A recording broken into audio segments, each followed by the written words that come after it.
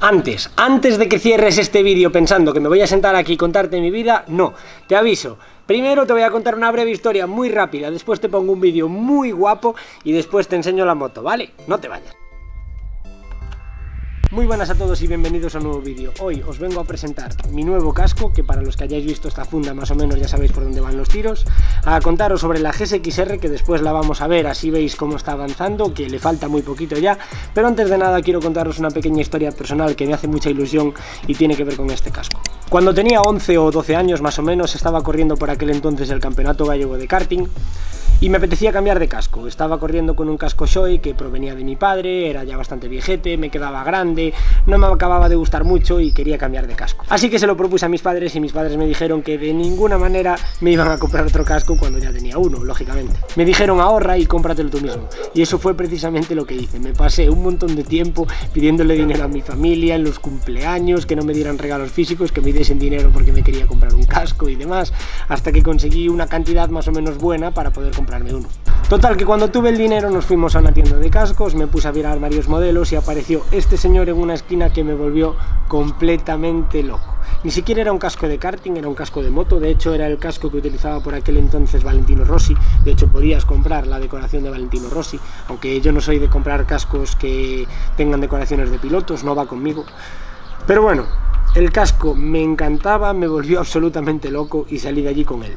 Para que os hagáis una idea, es un AGV GP Pro de carbono y Kevlar, costó 600 euros en su momento, que es como hoy un AGV GP pista de carbono que anda en los 1200, porque bueno, los tiempos han cambiado, ya sabéis que el precio de las cosas también, pero como todo en esta vida tiene una fecha de caducidad. Para los cascos de carbono dan una fecha más o menos de 8 años, este ya lleva muchos más conmigo y además ha vivido muchísimas experiencias, ha corrido todas las carreras conmigo de Cars, ha estado en todas mis motos, lo ha utilizado mi padre cuando yo no lo he utilizado, o sea, es un casco que ya ha pasado mucha vida, ha vivido mucho y ha sufrido mucho. Y hoy ya por dentro está destrozado, las espumas ya se las hemos rehecho dos veces por no cambiarlo. Es hora de retirarlo. Y es hora de que llegue uno nuevo. Así que os presento mi nuevo casco.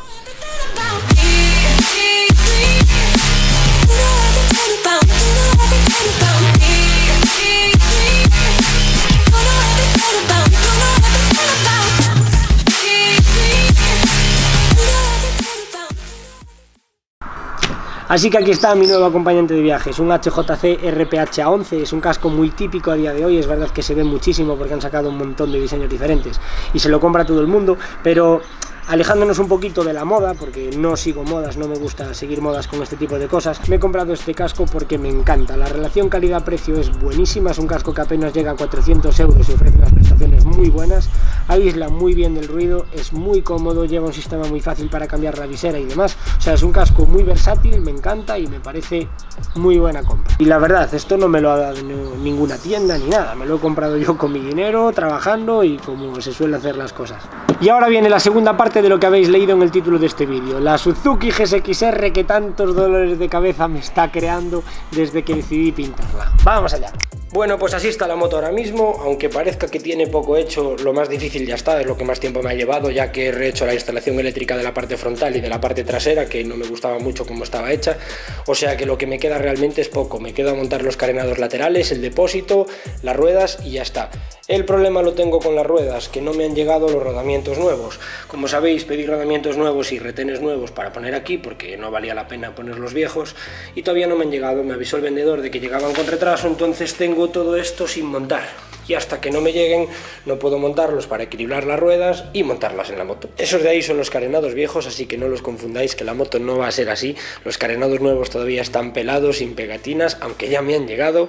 Así que nada, chicos, pronto, muy muy pronto, o eso espero, esta señorita de aquí está a la lista. Volvemos al exterior que os sigo contando. Pues eso, que la GSXR va a salir muy muy pronto así que os pido un poquito de paciencia que el siguiente vídeo ya será la presentación oficial.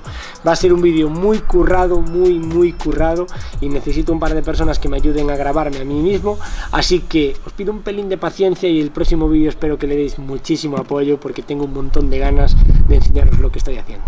No me enrollo más que no quiero aburriros, muchísimas gracias por estar ahí, por apoyar este pequeño canal, este pequeño gran proyecto y todos los que se vendrán. Sé que muchos me decís que no crezco, que no consigo crecer, eso está en vuestra mano. Si queréis que seamos una familia más grande, en vuestra mano está compartirlo y hacer que esto llegue a más gente.